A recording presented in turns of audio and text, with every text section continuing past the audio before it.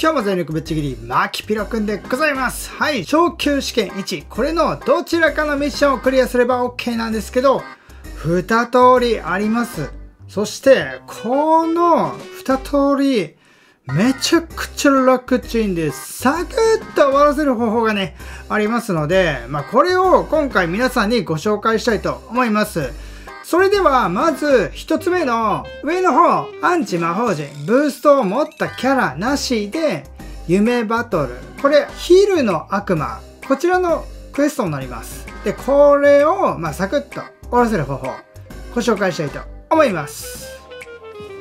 はい、アンチ魔法陣、ブーストを持ったキャラなしで、夢バトルをノーコンクリア、こちら紹介していきたいと思います。はい、こちらでアリスを編成します。で、アリスのコネクトスキル。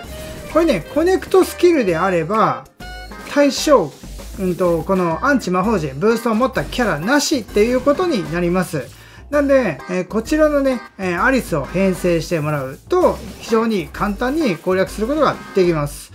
で、このコネクトスキルがちょっと問題で、自身の種族、まあ、妖精が異なるキャラが1体以上と、合計ラック100以上となっております。で今回はこの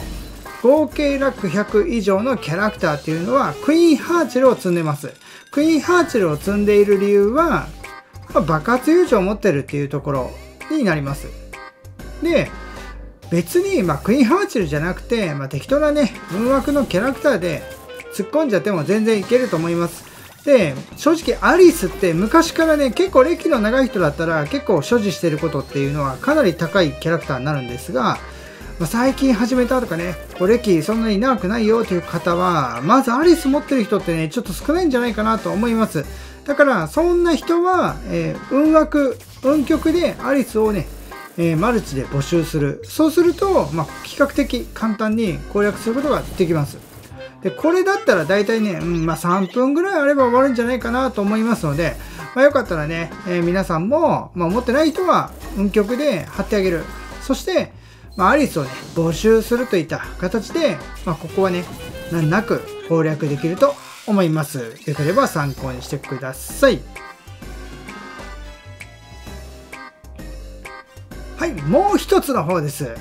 犬と飼い主をデンジマキマを入れてクエストを10回ノーコンクリア。というね、こちらもですね、実はめちゃくちゃ簡単に終わらせることができます。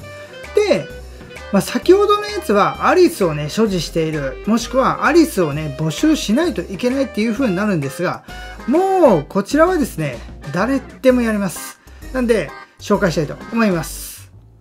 はい、こちらはひらめきの闘技場になります。で、一番左の方であれば、2手で終わらすことができます。まあ、今回は結構強キャラ積んでますけど、まあ、別にこんなね、あの強いキャラクター積まなくても大丈夫です。これ、あの、ただの履歴でやっただけなんで、あの、他のキャラクターでも全然問題ないです。で、大体ね、2手ぐらいで終わるんですよ。だから、まあ、所要時間としてはどう ?30 秒いるかなっていったところになると思います。